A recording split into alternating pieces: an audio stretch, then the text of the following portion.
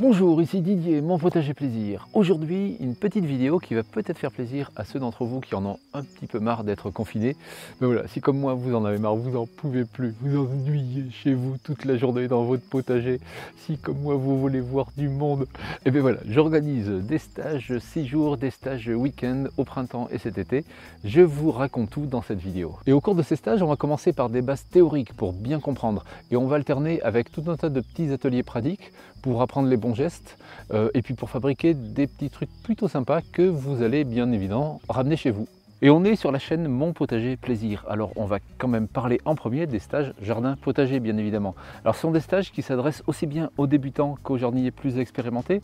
Pourquoi? Parce que je prends vraiment le temps de reposer les bases techniques, de bien comprendre, euh, réexpliquer comment fonctionne un sol et comment fonctionne une plante, comment les deux fonctionnent vraiment en interaction l'un avec l'autre. Parce que vous verrez, c'est quand on a vraiment compris tout ça que toute la suite découle automatiquement de ces bases-là euh, et qu'on comprend intuitivement les bonnes pratiques à avoir au jardin potager. Et on fera ensuite un grand zoom arrière euh, non, non, non, non, pas tant, revenez, revenez, revenez, revenez. Non, non, on fera, un petit zoom arrière euh, pour euh, étudier ensemble les principes de base de la permaculture, toutes les notions essentielles de maraîchage, de jardinage sur sol vivant, et puis pour parler de biodiversité au sein du potager et autour du potager, c'est tout aussi important. Et on fera bien sûr de nombreux focus techniques sur les points vraiment importants pour le potager. On parlera des serres, de l'irrigation, de l'autonomie en eau, du planning de culture, des semences et des plants. Finir, on parlera bien évidemment de la santé, avec la santé des plantes potagères, bien entendu, tout ce qui est purin d'ortie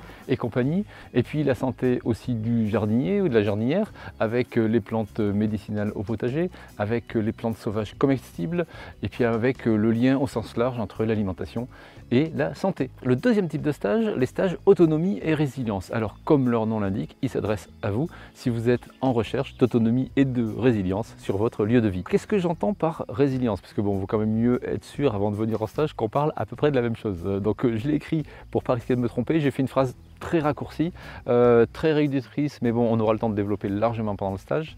Euh, pour moi, la résilience dans ce contexte-là, c'est la capacité à s'adapter et à se remettre de changements, quels qu'ils soient.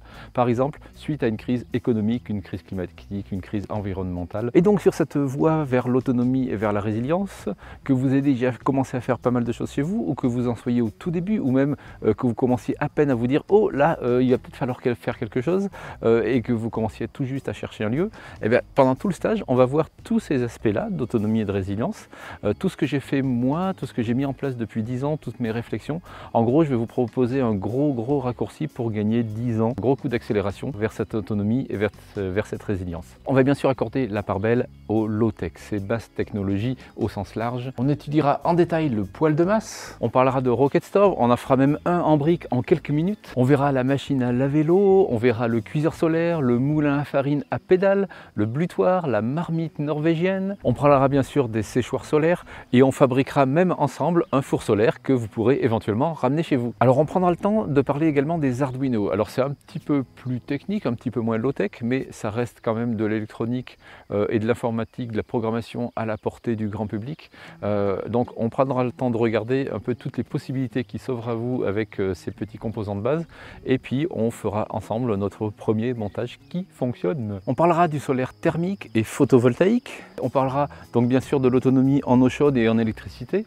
Euh, on parlera des batteries, on parlera des éoliennes. On parlera bien sûr permaculture, mais en se focalisant sur la maison et son interaction avec l'environnement proche, le terrain juste autour. On étudiera les enduits en terre crue et bien sûr, vous mettrez la main à la pâte. On verra la solution de récupération d'eau de pluie la plus adaptée à votre cas particulier, sans oublier la phytoépuration et les toilettes sèches initiation soudure à l'arc et conduite de la mini-pelle, le genre de petite chose qui sert toujours dans un chantier. Et parce qu'on n'est pas que des machines, on a aussi un petit cerveau qui tourne à fond.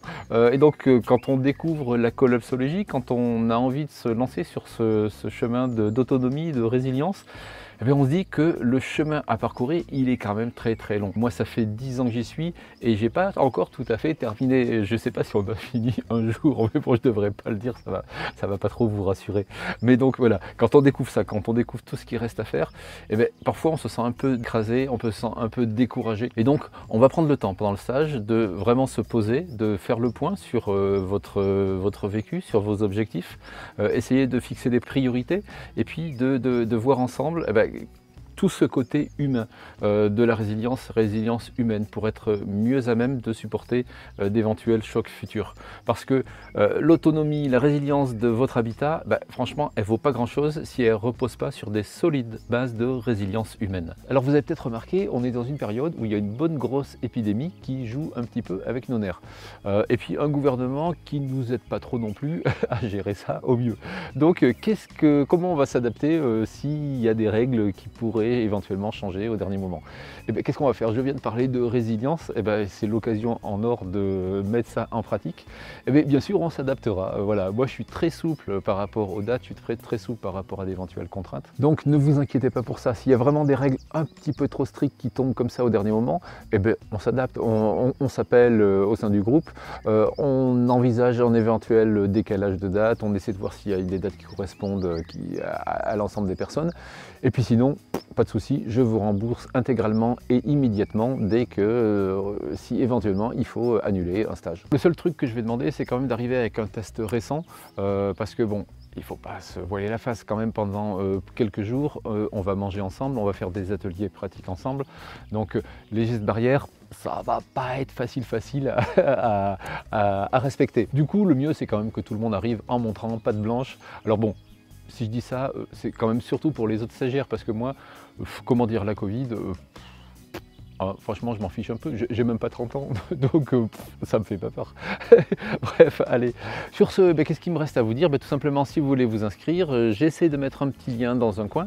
Et puis sinon, euh, il y a le lien en dessous. donc voilà, allez voir une description plus détaillée du programme des stages. Et puis, et puis n'hésitez pas à m'envoyer un petit mail si vous avez des questions. À très bientôt pour une bonne petite vidéo potager. Et sur ce, à bientôt. Salut, salut